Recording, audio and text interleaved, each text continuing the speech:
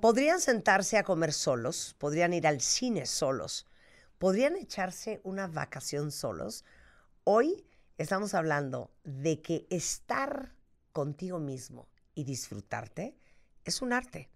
Mario, ¿cómo? ¿Ustedes creen que hay una diferencia en ir a comer solo, ir al cine solo o, o ir de vacaciones solo?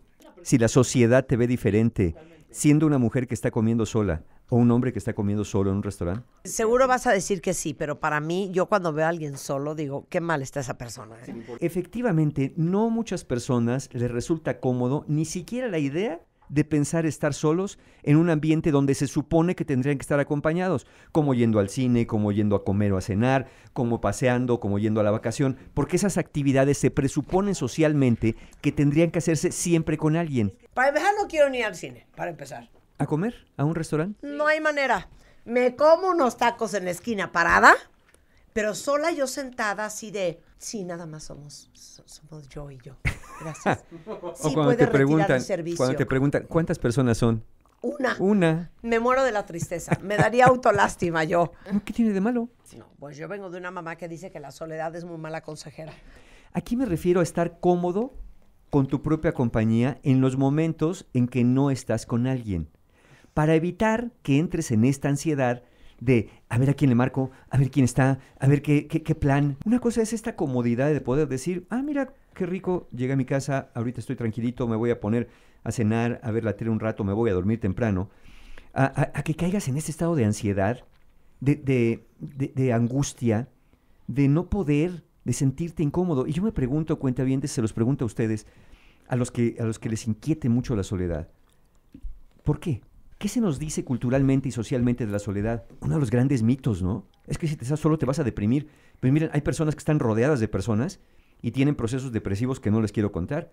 Y hay personas que pueden estar más en soledad y no necesariamente desarrollan un, un espacio de tristeza, porque muchos asocian eso a la soledad con tristeza, a la soledad con abandono, a la soledad con depresión. No, no estoy abogando por el ascetismo o irse a vivir a la cima de una montaña, en una cueva o algo así, sino más bien tratar de entender y valorar la soledad como una parte fundamental del equilibrio de la vida. Si somos demasiado de afuera, de la, de la compañía de otros y muy poco de nosotros, no vamos a desarrollar la tolerancia necesaria para poder estar con nosotros mismos. Nos va a dar angustia. Y si somos demasiado de nosotros mismos y casi nada de los demás, entonces sí podremos caer en un estado de aislamiento. Se trata de que cuando en cierto momento tengas que estar en soledad por una cuestión de un viaje de trabajo, porque estés, llegues a tu casa más temprano o porque las personas que están contigo estén ocupadas en otra cosa, no caigas en angustia.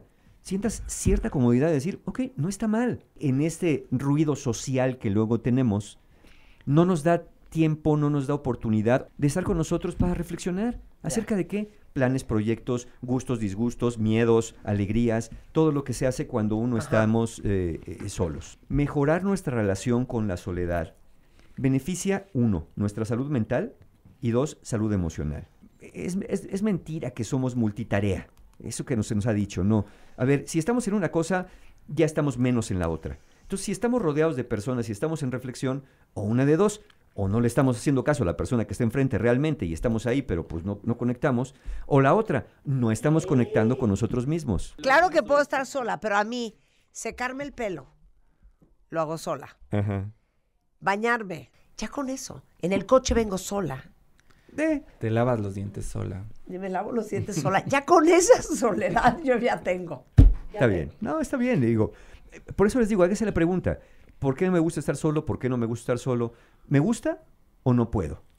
¿Me gusta o me angustia cuando no?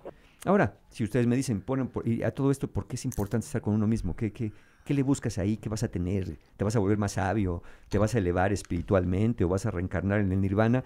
Mira, no lo sé si eso va a pasar.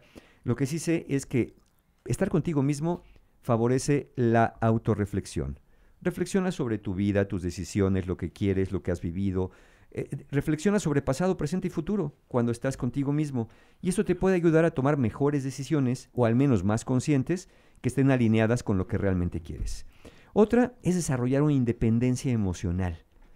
Yo sé que uno piensa que la madurez llega a los 21 años, etcétera, etcétera, pero hay personas que, que todavía no, no- les llega a faltar ese proceso, no ven todavía este proceso de madurez emocional y de independencia emocional, y aprender a estar cómodos con nuestra propia compañía aumenta la resiliencia emocional y reduce la dependencia de la validación externa. Luego, otra, potenciar la creatividad. Hemos oído esas historias y a- seguramente a ustedes les pasa. Estás en la regadera y se te ocurre algo. ¿no? Claro. Como bien dice Marta, yo cuando me estoy bañando estoy sola. Bueno, en ese momento del bañito se te ocurren cosas, se te ocurren ideas que normalmente no se te ocurren en otra parte. Saben que yo tengo un trayecto en las mañanas de 45 minutos. Ajá. No sabes todo lo que pienso En ese momento. en ese momento. Ahí está. Ahí De está. absoluto silencio en el coche. Está. Y eso potencia la creatividad. Claro. que no lo harías en otra circunstancia. Y finalmente, ¿qué creen cuentavientes? Algo bien paradójico. Aprender a estar contigo mismo mejora tus relaciones. Ah, caray, ¿cómo por qué? Si es que estar conmigo mismo. Bueno, porque al comprenderte mejor a ti mismo, eres capaz de comunicar mejor lo que sientes, lo que piensas, lo que temes, lo que sueñas. Eh, eh, eres capaz de comunicar mejor eh, con otras personas tus recuerdos, tu realidad. Tienes una mayor autoconciencia emocional, lo cual te va a permitir tener relaciones más empáticas, más comprensivas y más auténticas. Y también, evidentemente, entender que los demás tienen un, un mundo interior que te gustaría a veces poder conocer, pero que no lo vas a conocer si ellos mismos no te lo saben transmitir. Entonces, esos serían como los, los efectos positivos. Ahora, ¿qué hacemos? ¿Podemos hacer algo para aprender a estar en soledad? Tenemos que aprender. Yo creo que tendríamos que aprender. Mira, es como, no sé, aprender a andar en moto o, o a nadar. A lo mejor no todos los días vas a nadar ni andar en moto, pero ya sabes, ya cuando menos no te hundes en la Para alberca. cuando se ofrezca. Para cuando se ofrezca. Ok. ¿Sí? Y aprender a sentir cierta comodidad. Entonces, vamos a ver algunas estrategias, algunos pasos, pues para que los vayan practicando si es de su interés aprender este arte de estar contigo mismo. Lo primero, como lo dije antes, es crear un balance. Un balance entre el tiempo que realmente, realmente pasas contigo mismo. Acuérdense que los teléfonos inteligentes y las redes sociales no ayudan a eso. Es un tiempo verdaderamente contigo y el tiempo que dedicas a estar conectados con otros. Y, y también, una vez que estés aprendiendo a andar contigo, crea un balance entre la conexión digital y la personal. Porque a veces podrás decir, no, claro, yo tengo una vida este, eh, social muy rica. Pues sí, está muy rica, pero desde tu cama metido en el celular hablando con tres personas en el WhatsApp y dos en el Face. No, haz un balance también entre las conexiones digitales y las conexiones físicas cara a cara, porque eso se vuelve importante. ¿Cuántos en la pandemia no andaban extrañando? Ay, es que no nos podemos dar abrazos. Ay, es que ya te quiero ver. Y ahora que ya medio podemos, ahora ya resulta que no, ahora que todos nos vamos al, FaceTime. Entonces, estando física, mental y emocionalmente presentes en los encuentros, es una- un encuentro de mayor calidad. Y obviamente, paso dos, tiempo de calidad contigo mismo. Dedica tiempos específicos, momentos específicos del día para fomentar actividades que te gusten y que disfrutes de estar.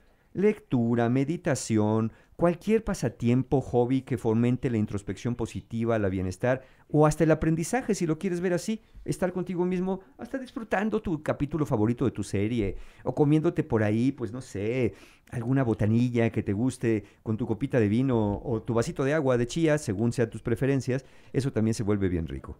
Tercer elemento, la presencia plena en interacciones. Cuando estés con otras personas, ya sea en persona o digitalmente, estate completamente presente, escucha activamente, participa de manera auténtica en las conversaciones. ¿Para qué?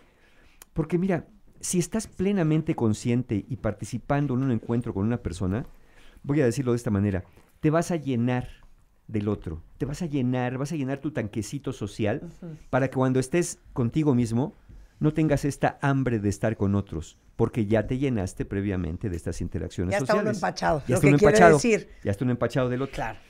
Eh, luego, construye una rutina de autocuidado. Porque yo también estoy de acuerdo que si nada más estás solo por estar solo, pues de pronto es como que, ¿y ahora qué hago, no? Te estás Claro. picando el ojo. Entonces, eh, construir una rutina de autocuidado y establecer metas personales es importante. ¿Por qué? Porque de pronto no sabemos qué hacer mucho con el tiempo a solas.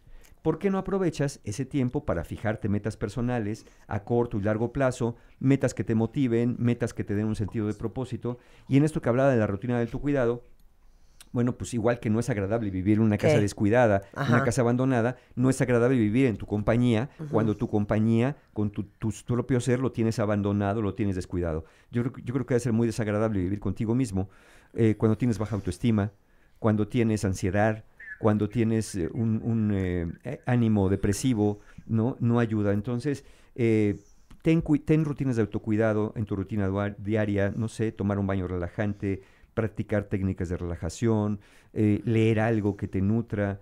Vamos, eh, el autocuidado es una expresión del amor propio. Y finalmente, atiende lo que haga falta. Si descubre sea- que el, el tiempo a solas te inquieta, Sí. si descubres que el tiempo a solas te da ansiedad, trabaja sobre la ansiedad. Si ves que el tiempo a solas te da tristeza, trabaja sobre esa tristeza. Trata de encontrar qué te produce ese tiempo a solas para que atiendas ese factor que no te permite hacerlo. Miren, cuentavientes, no se trata tanto de preguntarse cómo le haré para aprender a estar en soledad. La pregunta correcta puede ser, ¿qué cosa me pasa que me impide estar conmigo mismo, siquiera en ratos cortos del día? Esa es la pregunta, porque poder estar solo es algo que también es natural en el ser humano, igual que estar en compañía. Si no pueden, pregúntense por qué. A decir por qué es importante saber estar solo. Bien decía mi madre que la soledad es mala consejera. Cuando uno no sabe estar solo, a veces toma malas decisiones y se va a estar con cualquiera Sí, pero más por no estar solo. Sí, Hay gente sí. que se siente como perro sin dueño, sin pareja. Sí, hay una cosa que se llama la autoestima contingente basada en las relaciones. ¡Oh, my God! Eso suena horrible. Eso quiere decir que hay personas que se sienten bien consigo mismas, sí y solo sí, están en una relación romántica con alguien. Son estas personas que cuando están en una relación romántica con alguien, en todas las redes sociales ponen corazoncitos, florecitas, estoy en una relación, eres el amor de mi vida, eres lo que me ha traído luz a la vida, pero cuando termina la relación, casi hasta moño negro ponen en la foto. De que ya se van para abajo, estoy solo, me siento miserable, eh, me siento muy mal.